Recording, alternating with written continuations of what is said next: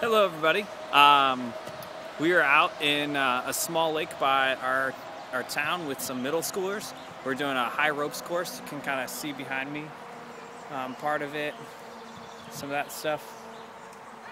Look over here. I'll be kind of walking around, just giving a little bit of an update. Where uh, Mandy's class, uh, she's a tutor at, at the middle school, and so they were coming out here as a field trip with uh, one of our friends, or a couple of our friends are the teachers, and um, so they invited me along to help out and to just hang out with teens, be a, a, leader, and, and so yeah, I just wanted to give you a little update. It's Friday, um, so update Friday. I don't know what I'm gonna call it, but just thought I'd, I'd send you a little you know video to say hello and, and see how we're doing. Um, things this week have been pretty low key. We're ending a uh, the spring ministry, and so uh, we had a, a, cookout, and we went to um, Mandy. Let's see, she had a oh man, brain fart, um, a sports banquet, and so she was there and uh, with the soccer team. She's been assistant coach there and just really helping out. And uh, so yeah, they've been just loving her and um, really glad that she was there. I was really proud of her, really excited. And then this Tuesday we have graduation, so we're gonna head over uh, to graduation and, and watch the seniors as they, they walk and just celebrate them and, and their accomplishments. We've got several seniors, a couple of the kids that I'm uh, mentoring, or, or, one specifically, and then a couple teams that have been just really involved in, in club and, and all sorts of things. So, really excited about that. And then we get ready. We're sometime uh, we're coming up on our summer service project, so we'll be preparing for that. And uh, I'll be sending some video up, updates afterwards. So we're going to I'll have I'll shoot them there, and then when I get home, I'm gonna uh, upload them to YouTube so you guys can all follow that and see uh, the stuff as it progressed throughout the days. Um, so really excited about that. I think it'll be just really a great experience for some of the kids. We're taking a just a, a couple uh, teams. It's during a, a, difficult time in the summer. A lot of people are transitioning, and uh, but really excited for the group that's going. I wanted to to make sure to emphasize that this is not a trip about them. It's really a trip about uh, the students and the kids that we're going to be impacting, and we're building a, a work project. And so, just really, really excited about what's kind of going on there. And then after that, we start our summer ministry, and and then we're getting ready, and we're going to travel back to the states um, at some point. And so you can uh, find out. You feel free to to send me a message, and I can send you that info.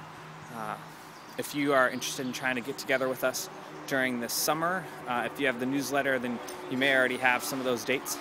Um, but yeah, just really excited. Things are, are going really well. It's kind of tough a lot of some of the key kids at club and the ones that I've been getting to know and hanging out with a lot um, are, are, moving, and and that's just really hard. I'm I'm used to moving uh, when I was a kid, but I, I, never really thought it through with some of the people that built relationships with me and got to know me, how it was for them, and yeah, I, it, it's definitely still a loss.